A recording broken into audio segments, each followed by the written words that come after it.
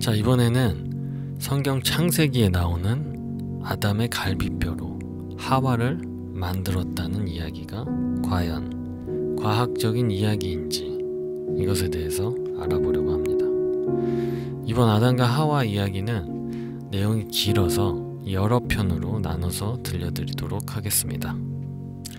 창세기 2장 21절부터 23절을 보시면 하나님께서 아담의 갈비뼈로 하와를 만드는 장면이 나옵니다. 그러니까 아담의 갈비뼈를 꺼내서 하와를 만들었단 얘기인데 여러분 오늘날 남자들이 갈비뼈 양쪽 개수가 똑같을까요? 아니면 한쪽에 하나가 없을까요? 되게 신기하게도 제가 이런 질문을 하면 한쪽에 하나가 없을 거라고 대답하시는 분들이 의외로 굉장히 많으세요. 그러니까 그분들은 아담의 갈비뼈로 하와를 만들었으니까 오늘날 남자들의 갈비뼈는 하나가 없어야 된다. 라고 생각하시는 거예요. 여러분, 오늘날 남자분들 양쪽 갈비뼈 개수 똑같습니다. 그러면 성경이 틀린 거냐? 그게 아니고, 여러분, 저는 성경이 반드시 과학적으로 설명이 돼야 된다고 생각하는 사람입니다. 하나님께서 창조하신 세상의 질서와 원리와 법칙을 정확하게 모르면 미신, 맹신, 불신 이런 게 생기게 되어 있어요. 그 아주 대표적인 예 중에 하나가 바로 이 갈비뼈 이야기인데요. 아담의 갈비뼈로 하와를 만들었기 때문에 날 남자들은 갈비뼈 하나가 없어야 된다. 이건 좀 잘못된 생각입니다. 여러분, 아담의 갈비뼈로 하와를 만들었어도 오늘날 남자들 갈비뼈 양쪽 개수 똑같아야 정상입니다. 왜냐하면 이게 유전의 법칙에 대해서 잘 아셔야 하는 건데요. 하나님께서 아담의 갈비뼈를 하나 꺼냈다고 해서 그가 낳은 자손들에게서 갈비뼈가 하나 없이 나올까요? 여러분 만약에 그런 식으로 유전이 된다면 문제가 아주 심각해집니다. 우리 조상님들 중에 논에 나가서 낯질하다가 손가락 잘린 분, 결혼해서 애를 낳더니 애가 손가락 하나 없어서 나와, 전쟁 나가서 다리 잘린 분, 결혼해서 애를 낳더니 애가 다리가 하나 없어서 나와. 여러분 이런 식으로 유전이 되는 거라면 지금 여러분과 저는 몸뚱이만 남아 있어야 돼요. 그렇죠? 유전의 법칙은 유전자를 통해서 전달되는 것입니다. 태어난 이후의 신체적인 변화는 유전되지 않습니다. 여러분 앞서 말씀드린 것처럼 손가락이 잘린다고 해서 유전 정보가 바뀌는 것이 아니라는 거예요.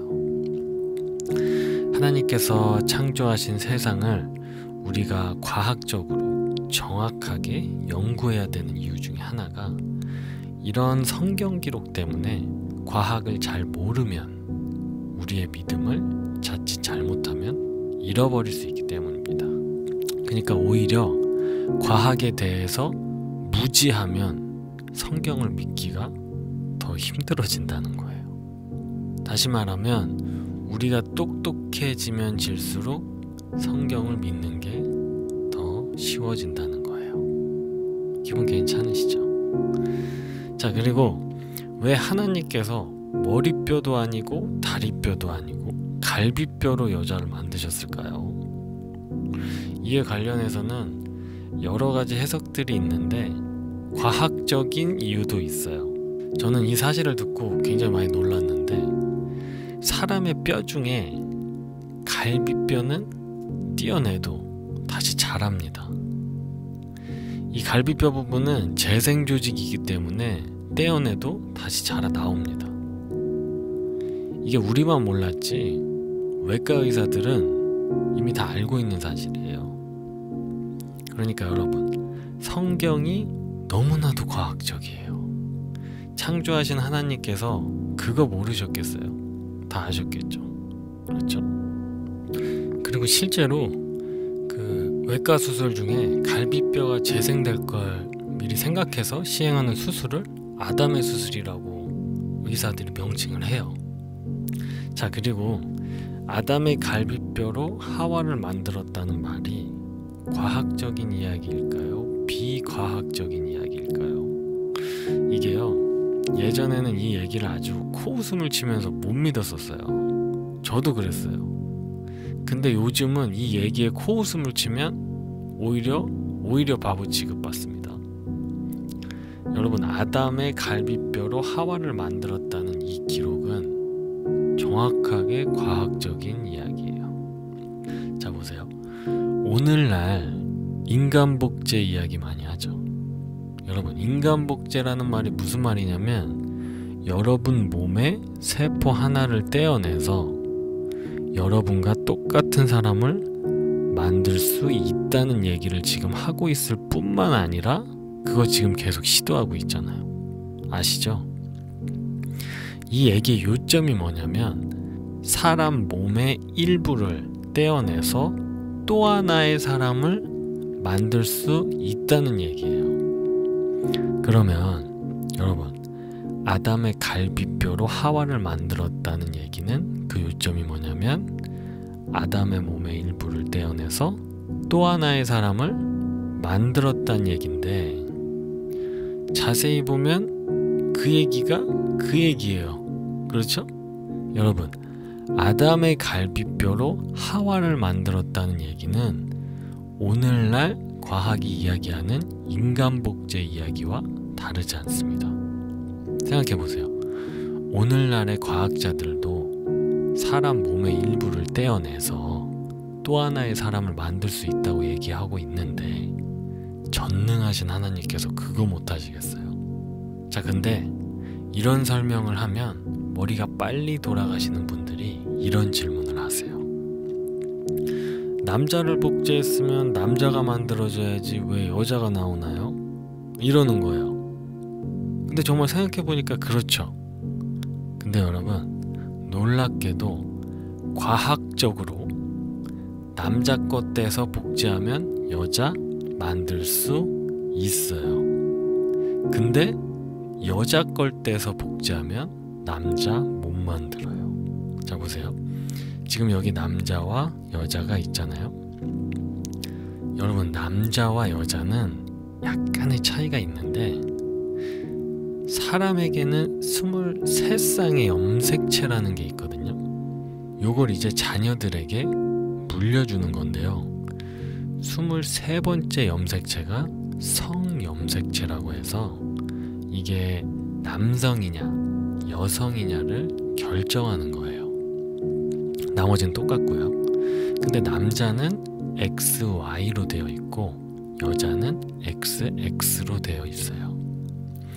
그래서 이 두 사람이 이제 남자는 정자를 만들고 여자는 난자를 만들어요. 근데 이 생식세포인 이 정자와 난자 속에는 요 X와 Y 두 개가 한꺼번에 못 들어가요. 그러니까 X만 들어가거나 Y만 들어갑니다.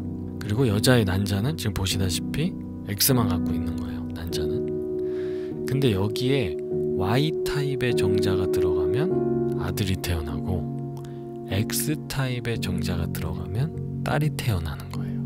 원리 이해되시죠? 자, 이해를 하셨다면 여자는 아들을 낳느냐, 딸을 낳느냐 결정권이 없다는 거 아시겠죠? 남자가 X를 주느냐, Y를 주느냐에 따라서 아들이냐, 딸이냐가 결정되는 거예요. 그러면 아들을 낳느냐, 딸을 낳느냐는 남자 쪽 책임이죠. 근데 옛날에는 이게 다 여자 쪽 책임이라고 여자들 막 구박받고 쫓겨나고 난리도 아니었잖아요. 여자분들 많이 억울하실 거예요. 그렇죠? 근데 사실 남자 책임도 아닙니다. 왜냐면 여러분 남자가 Y를 줄지 X를 줄지 조절할 수 없잖아요. 그렇죠? 자 그러면 이 원리를 알고 다시 생각해 보자고요. 아담의 XY를 통째로 복사를 하면 그러면 남자가 만들어지겠죠. 그리고 또 아담의 X, Y 중에 X만 복제하면 여자가 만들어지는 거예요. 그러니까 여자는 X만 있으니까 여자로는 여자만 만들 수 있어요. 남자는 못 만들어요. Y가 없으니까. 그러니까 과학적인 원리로 봐도 남자로는 여자를 만들 수 있지만 여자로는 남자를 못 만든다는 이야기입니다. 근데 성경에 분명히 남자로부터 여자를 만들었다고 되어 있습니다. 그렇죠? 성경 기록이 참 알면 알수록 과학적입니다.